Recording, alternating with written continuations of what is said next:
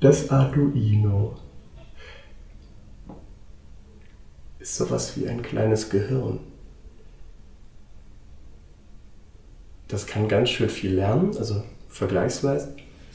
Ist jetzt aber nicht so ein Riesenhirn, sondern eins, das ganz schnell ausgetauscht werden kann und wo ganz viele Sachen, äh, ganz viele neue Arme und Beine dran gestöpselt werden können.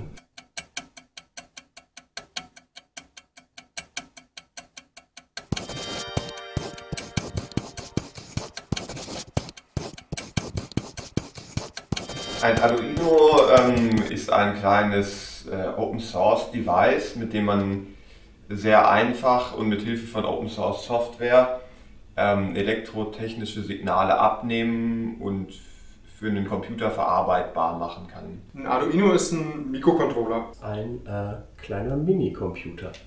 Es gibt kein CD-Laufwerk und keinen Bildschirm. Wenn man das möchte, muss man es selbst anschließen, aber das bedeutet zum einen, dass man weniger zur Verfügung hat, zum anderen, dass man alles Mögliche damit machen kann.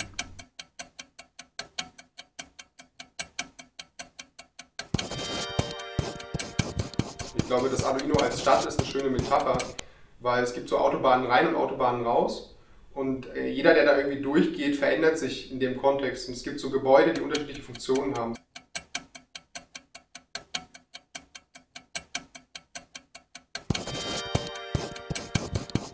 Ein Arduino ist ungefähr so groß.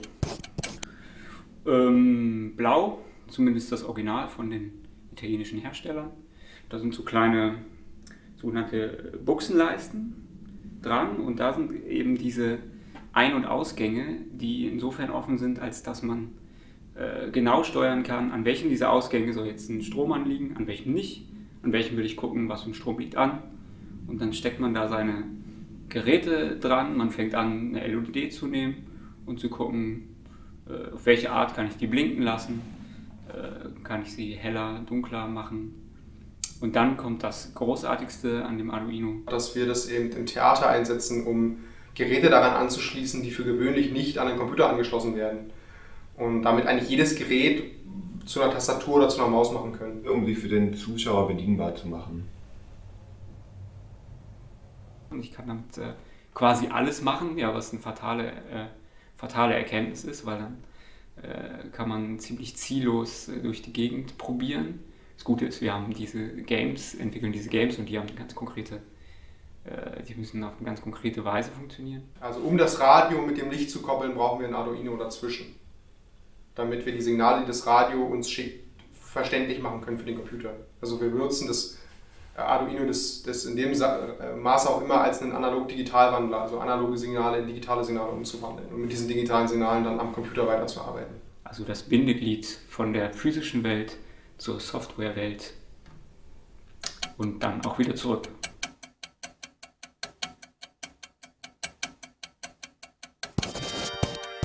Das Arduino ist ein Übersetzer, einfach. Ähm, eine der einfachsten äh, Dinge, die man ganz am Anfang von Arduino-Programmierung und äh, Bastelei lernt, sind äh, Dioden, die man benutzen kann, äh, um, äh, um zu gucken, wie viel Licht vorhanden ist.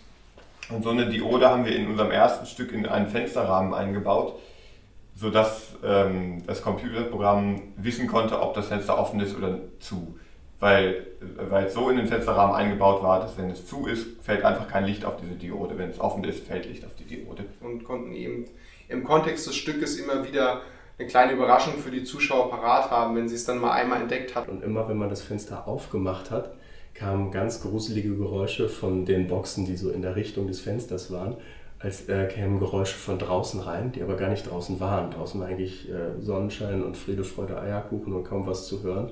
Und man konnte dann aber immer dieses Fenster aufmachen und hörte ganz andere Sachen. Nur dort, wenn man dieses Fenster aufgemacht hat. Und das war sowas wie ein, ein Fenster in eine andere Dimension.